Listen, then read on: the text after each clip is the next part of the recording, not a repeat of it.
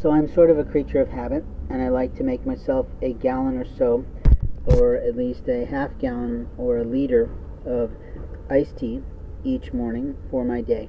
I like to stay hydrated, and I do that every single way. But the question I have for myself is what happened to the bag that I was carrying my iced tea packets in? Because when I went to open it this morning, that was in my left side pocket overnight, I found that my bag was completely ripped open. It was no longer intact. The Dollar Tree bag that I was keeping the little packets in instead of the box that they come in was completely ripped through the side. I hadn't lost any of the iced tea packets overnight because I know how many times I used it so far to make two gallons worth of iced tea.